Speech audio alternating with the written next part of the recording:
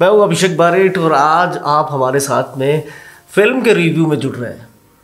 मैं सुपरमैन, सलमान का फ़ैन।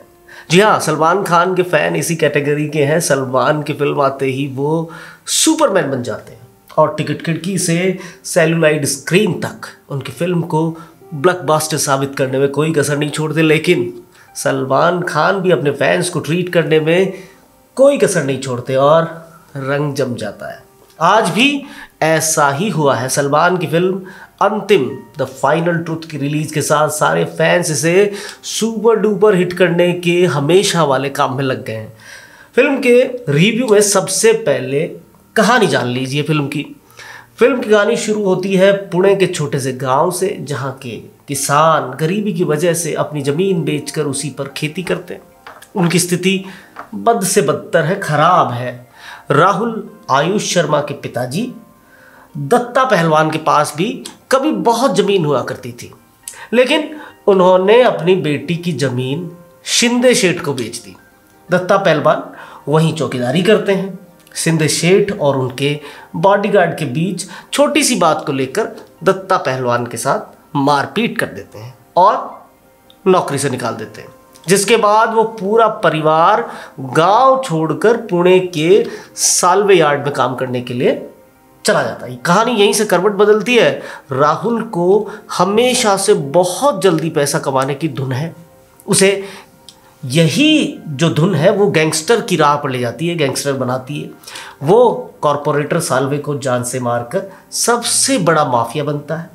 उसका दोस्त गणेया उसका पूरा साथ देता है। गैंगस्टर नन्या भाई को मार देने के बाद उसकी मुलाकात राजवीर यानी सलमान खान से होती है, जो उसे बार बार इस गलत रास्ते से हटने की सलाह देते हैं। लेकिन राहुल के दिमाग में अब सीएम बनने का जुनून सवार है। उसकी ज़िंदगी में मंदा यानी महिमा मकवाना की एंट्री होती है, लेकिन मंदा को पता चलता है कि वो गैंगस्टर बनने के लिए कुछ भी करने के लिए तैयार है। इस बात पर वो उसे छोड़ देती है। राहुल के पापा और माँ और बहन पहले से ही उससे नाता तोड़ चुके क्या राहुल खुद को इस चुंगल से निकाल पाएगा? राजवीर कौन सी चाल से इस सबको धर दबोचेगा? यही आगे की कहानी है। तो ये तो हुई आ, मिक्स मिक्स सी कहानी की बात। पर कहानी में स्क्रीन पर बहनोई आयुष शर्मा के लिए सलमान खान ने पूरी फ़िल्म को अपने कंधों पर इतना उठा लिया है कि आयुष के कंधों में कोई दर्द ही नहीं हुआ। और वो, कहते ना इंग्लिश में no pain no gain Ayush को भी एक्टिंग के बल पर इंडस्ट्री में जगह तलाशनी मुश्किल ही लगती है। बाकी नेपोटिज्म यानी भाई भतीजावाद से कामयाब हो ही जाएँगे। नहीं नहीं, हम नहीं कह रहे हैं। ऐसे कमेंट जो है, वो देश भर से लोग कर रहे हैं। इसलिए थोड़ा मामला आगे खींचते हैं। ट्विटर पर फ़िल्म अंतिम के चर्चे जोरों शोरों से हो ही रहे हैं। महेश मांजरेकर के निर्देशन में बनी इस फ़िल्म यानी अंतिम ने फैंस का दिल तो जीत लिया है।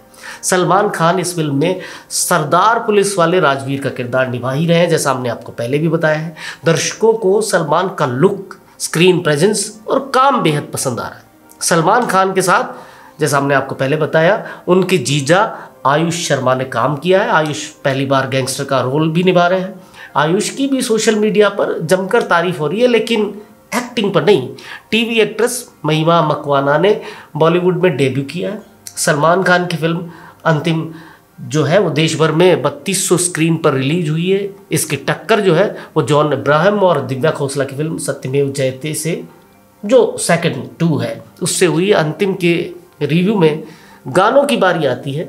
गाने अच्छे हैं। और इसके ओपनिंग डे के कलेक्शन पर अभी सबकी नज़रें जमी हुई है। उम्मीद की जा रही है कि इसका कलेक्शन जो है तेरह से पंद्रह करोड़ रुपए के बीच हो सकता है। अब बात करेंगे एक्टिंग की।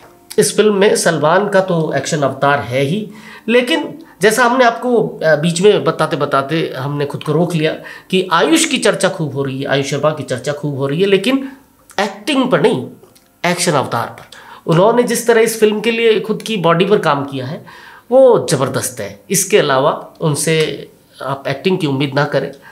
और दूसरी तरफ़ सपने सुहाने लड़कपन के अधूरी कहानी हमारी, रिश्तों का चक्रव्यूह, शुभारंभ जैसे सीरियल्स में लीड रोल निभाकर लोकप्रियता बटोरने वाली महिमा मकवाना भी सलमान खान की फ़िल्म अंतिम में लीड रोल प्ले कर रही।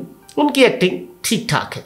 फ़िल्म के गाने जो है, वो अपने जैसे आपको पहले बताया, गाने ज़बरदस्त हैं और खूब पसंद किए जा रहे हैं। महेश मांजरेकर अभिजीत देशपांडे, सिद्धार्थ सालवी ने फ़िल्म के डायलॉग्स लिखे हैं जो कि काफ़ी प्रभावशाली हैं। जो जो बातें ज़रूरी थी, वो हमने आपको फटाफट तेज़ी के साथ तीव्रता से बता दी हैं। फ़िल्म देखने के बाद मज़ा आपको आना है, इसके लिए आपको थिएटर जाना है। तो सारा बोझ हम नहीं उठाएँगे और आपको ये समझाएँगे कि हमारी बात मानो तो फ़िल्म देख लो, कुछ एक कमियों के बावजूद फ़िल्म पैसा वसूल है। शुक्रिया। Please subscribe and don't forget to press the bell icon to get notified whenever we upload a new video.